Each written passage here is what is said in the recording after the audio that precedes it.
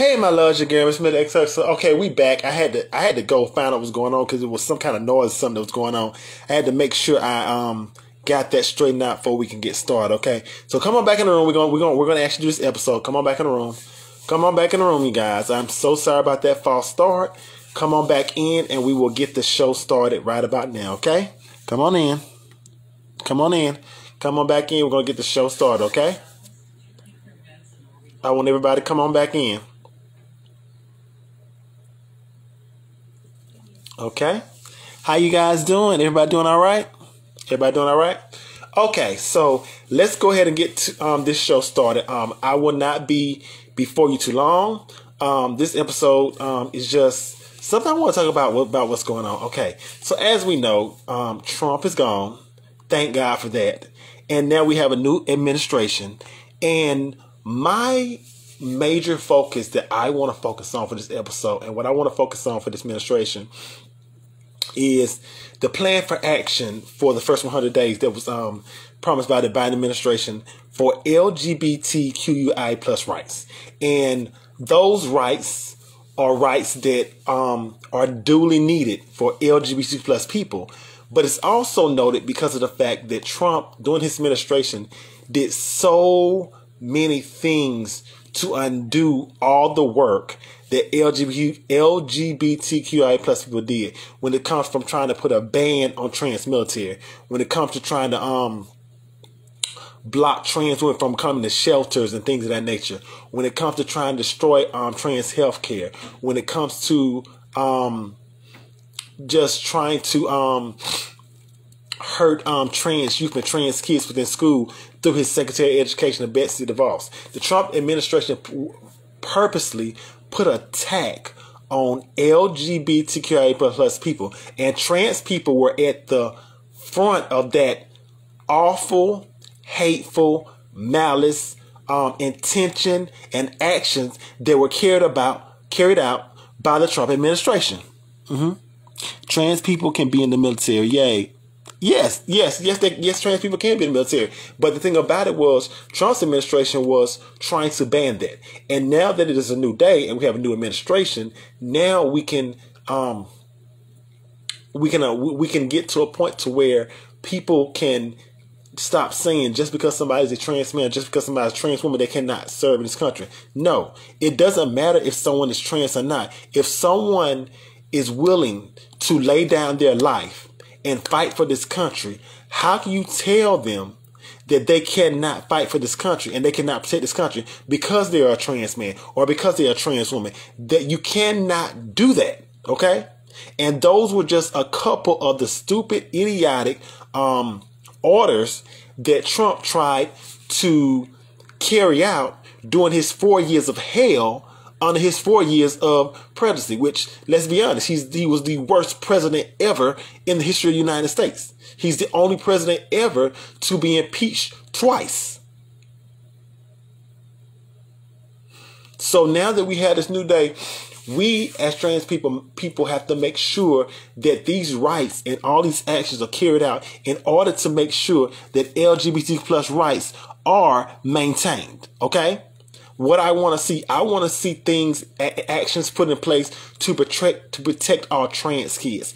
Action put in place to protect our LGBT, LGBTQ plus youth. Um, programs put in school that implement um, programs to protect um, L, um, kids from bullying. There, we we lost so many LGBT plus youth and trans kids because of um, cyberbullying and because um, they committed suicide because they could not be themselves. And we need more space for queer and gay and trans kids to let them know that they're valid, to let them know that they exist, to let them know that their life matters.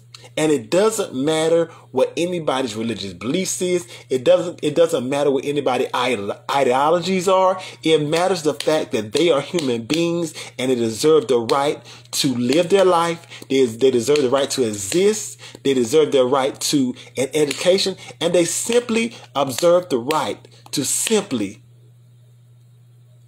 exist in a space of their own. Okay? Also, what I want to see under this administration, I want to see, um, I want to see more programs um, to help um, gay and lesbian couples be adopted. There's so many um, so many programs right now that discriminate against lesbian women adopting or discriminate against um, gay men or gay black men adopting. Why are we trying to discriminate against a couple who want to adopt a child and give a child a better life just because you don't agree with their sexuality, just because you don't agree with who they are? So you mean to tell me that you're willing to let let um, a kid go in the orphanage? You're willing to let a child grow up without a family just because you do not want to allow a, um, a lesbian couple or a gay couple who could give a child a wonderful life, a life? That makes no sense. I thought the idea of the childcare system and ch- ch- excuse me, the childcare system was to make was to do what was in the best interest of the child. What the what is in the best interest of the child is to make sure that child is loved, is um is respected, and is in a home with a family that will that will raise them and love them as their own. And there are so many lesbian and gay couples who will love these children as their own. Not only that, they're able, they're financially able to take care of the kids. But yet, because they're lesbian, because they're gay, you don't want them to adopt. No, these are these are the things that we have to help to try to end during the first um, 100 days of LGBT plus legislation under the new Biden-Harris administration. Also, what I want to see, and this is the main thing that I want to see. What I came on here tonight to tell you guys. What I really want to see is I want to see a task force built to combat the the the deaths of um, of all the black trans women we see happening, all the black trans lives, all the black gender nonconforming people. There are too many of my sisters that are dying. There are too many black transgender women, gender nonconforming women that are dying, and it is an epidemic. It is, is a threat, and there needs to be some kind of task force in these cities, in these police departments, to combat this. A lot of times, black trans women and gender nonconforming people don't go to police because a lot of times they do not feel safe. Because the first thing that um a lot of cops want to say is, "Oh, what are you doing working to be? Oh, what are you doing? Uh, do you have something?" It is not about that. What is about? It is about the fact that if a trans woman is in a is in a situation where her life is in danger, as a police officer, you took an oath to um protect and serve. That's the oath that you took. So that's the thing about it. We have to understand is that these, these ooh, we, we have to make sure that um the that these police officers are not only going through um racial sensitivity training, but they need to go through um LGBTQ plus um sensitivity training, especially when it comes to black trans women and trans lives sensitivity because there's so there's just like there are so many cops that we talk about all the time that are racist and things of that nature. There are so many cops that are homophobic. And they'll lock somebody up gay and they really don't have to. There's so many these cops out here that are transphobic and will lock a trans girl up without no business. Won't even ask what went on. But just will lock them up. Just because they assume because that person is trans that that person is doing something wrong. And that is something that has to stop under this new administration. Okay? So my major goal is that I want so many things different for my LGBTQI plus people. Okay?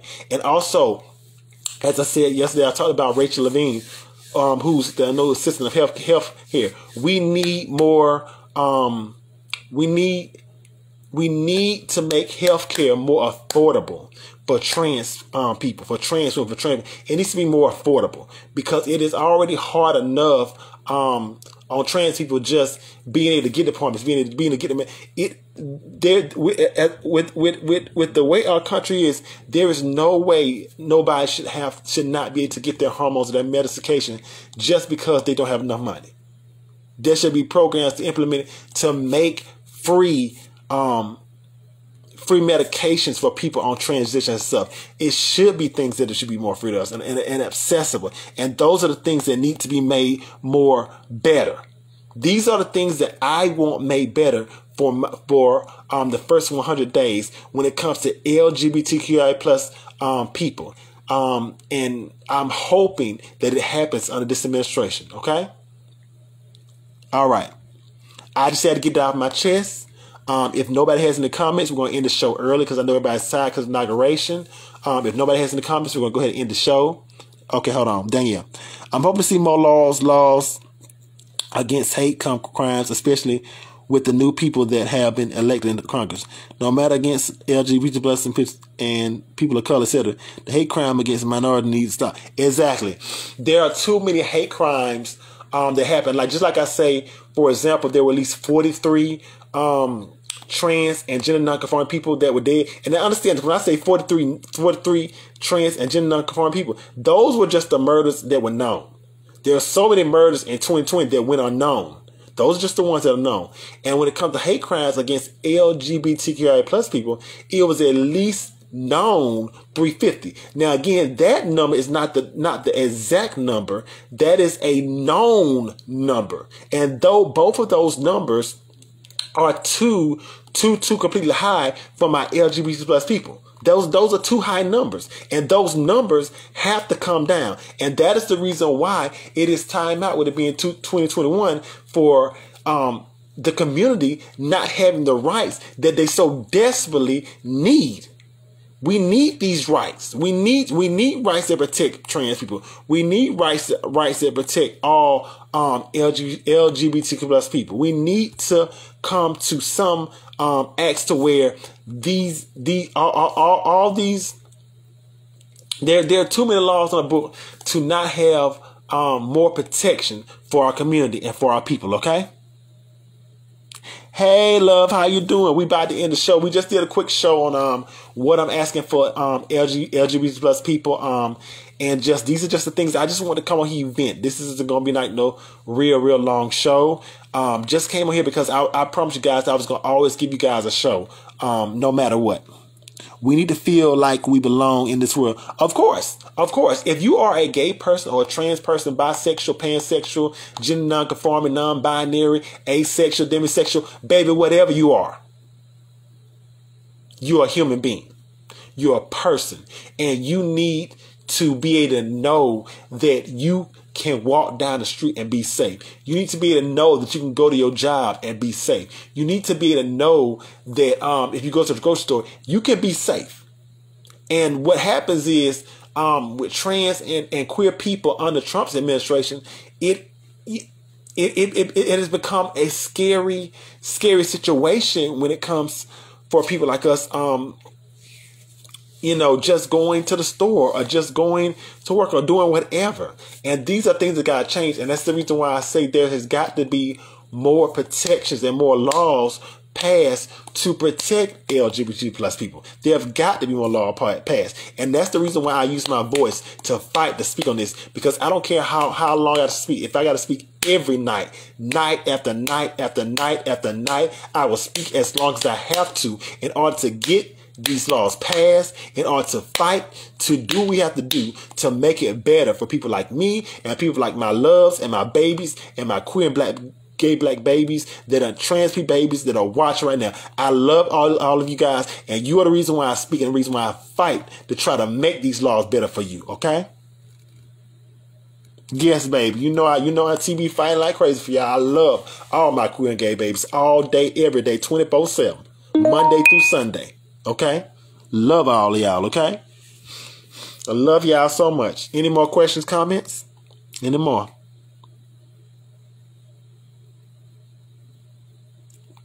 All right.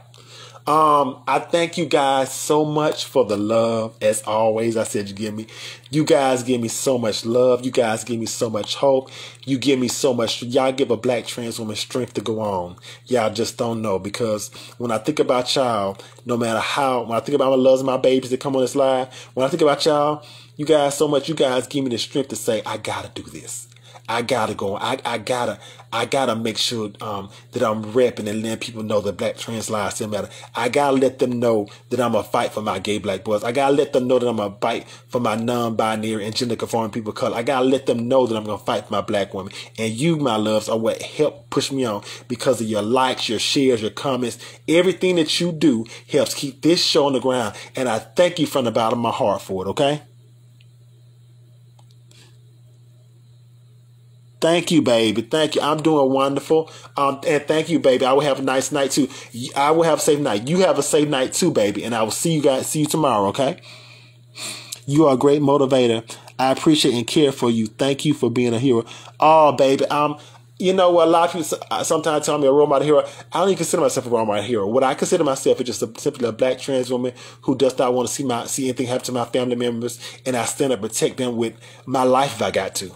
That's that's just me. And if that's what a hero is, then it can be that. But I I I I I, I feel like sometimes I'm doing the bare minimum. I'm, I'm doing what I feel like everybody should do. Okay, that's the way I feel.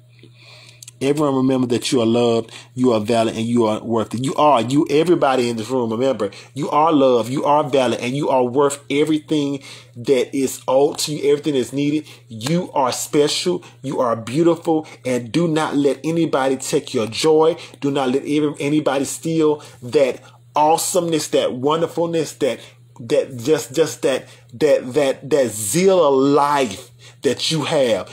Do not let anybody take it away from you, okay? All right, my loves. Um, I hope you guys have a wonderful night.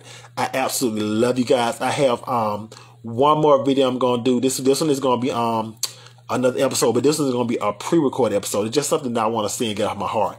Um, I absolutely love you, my loves. If there are no more comments, we're going to go ahead and say good night. Um, I'll be back with another show tomorrow. I got a couple more. I got a couple shows coming up, coming up. Um, I think one show coming up Friday, if it goes through, I'm so, so excited about. But I love you guys from the bottom of my heart. Um, yes, sweetie baby. I love you. I love you so much. You, you, my loves, be safe. Um, auntie gonna get auntie gonna go to a second job. I got to go over here to TikTok and do some things for my babes over there, and then I can, you know, give me a little rest for night because I've been moving since this morning trying to make this show and everything be better. Okay, all right. I love you, my loves. Have an awesome, wonderful, and beautiful night. And thank you, my love. I thank you for um saying that. Yes, I, I thank you, my loves. Thank you for everything you do um to help keep me motivated. Okay. I love you, my love, so much. I have a wonderful evening, okay? Bye.